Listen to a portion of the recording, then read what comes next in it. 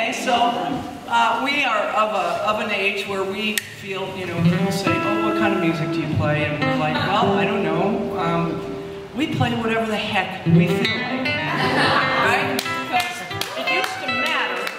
Uh, well, you know, you'll go places if you do this, and this is popular and that's popular. The bottom line is we love all kinds of music, and we play whatever the heck we feel like. Somebody says, Woo! so, there we go. so we've gone now from Dan Fogelberg, and we're going to take you. Uh, anyone remember the Mamas and the Papas? Yes! yes! This song was written originally in 1930, so this is an oldie.